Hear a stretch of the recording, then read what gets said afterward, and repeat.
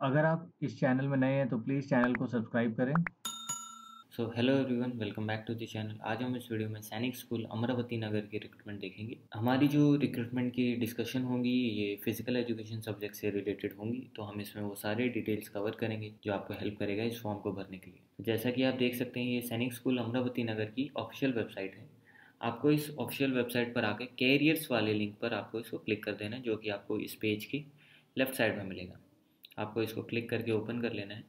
Then यहाँ पे जितने भी वैकेंसीज़ हैं स्कूल ने जो जारी किए हैं, वो सब आपको इसी पेज पे मिलेंगे। तो हमारा जो सब्जेक्ट है, वो फ़िज़िकल एजुकेशन से रिलेटेड है। यहाँ पे आप देख सकते हैं कि इन्होंने physical training instructor cum matron की रिक्रूटमेंट इन्होंने जारी की है, जिसमें एक पोस्ट है और वो भी कॉन्ट्रेक्चुअल बेसिस पर है। तो जो भी इंटरेस्टेड फीमेल कैंडिडेट्स है, वो इस फॉर्म को भर सकते हैं। अगर वो चाहते हैं कि उनको एक अच्छा खासा एक्सपीरियंस मिले वो एज अ कॉन्ट्रेक्चुअल बेसिस पर स्कूल में काम कर सकते हैं। फीमेल्स के लिए वैकेंसी है, जो एजुकेशनल क्वालिफिकेशन ये मांग रहे हो bachelor of physical education B P Ed of four years degree course या फिर अगर आपके पास थ्री ईयर्स का ग्रेजुएशन है one year B P Ed course अगर अगर अगर आपने किया है one year B P Ed diploma तब भी आप इसमें अप्लाई कर सकते हैं। या फिर अगर आपने बी एस सी किया इन फ़िज़िकल एजुकेशन या हेल्थ एजुकेशन या फिर sports plus one year B P Ed diploma अगर आपके पास है तो आप इसमें अप्लाई कर सकते हैं।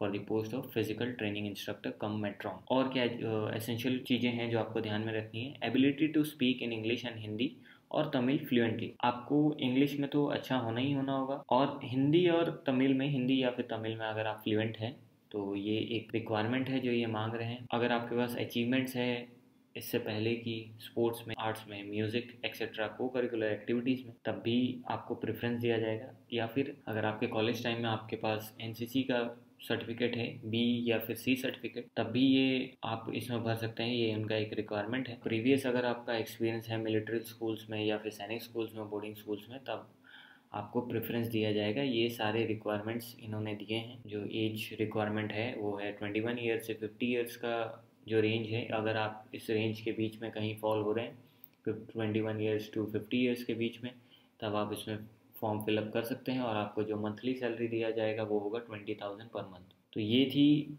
रिक्वायरमेंट की सारी चीज़ें। अगर आप फ़िज़िकल ट्रेनिंग इंस्ट्रक्टर का मेट्रॉन फीमेल पोस्ट का फीमेल पोस्ट के लिए बनना चाहते हैं, वो भी कॉन्ट्रेक्चुअल बेसिस पर।